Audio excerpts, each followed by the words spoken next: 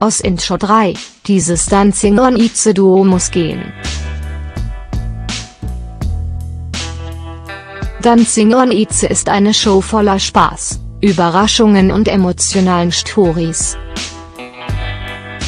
In den vergangenen Folgen wurden die Zuschauer schon mit einer aufflammenden Turtelei und etlichen Verletzungen überrascht bei den Stars rund um Sarah Lombardi, 26, und Timur Bartels, 23, wird es einfach nicht langweilig. Doch auch heute musste wieder ein engagiertes Paar die Eisfläche räumen, für Kevin Kurske, 40, und Miriam Leuenberger, 31, ist der Traum vom zukünftigen Dancing on Ice-Sieg geplatzt.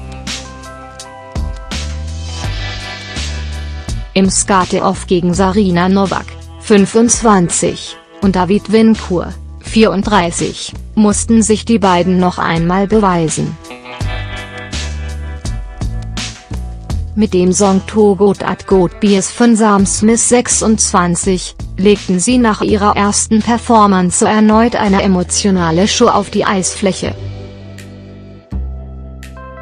Dennoch entschied sich die Jury um Katharina Witt und Kale Kalai gegen den Sportler und seine Partnerin. Für diese Folge hatten die Stars zuvor das erste Mal ein Motto und eine Aufgabe von den Juroren bekommen. So musste jeder Promi in seiner Kür einen Solo-Auftritt einbauen.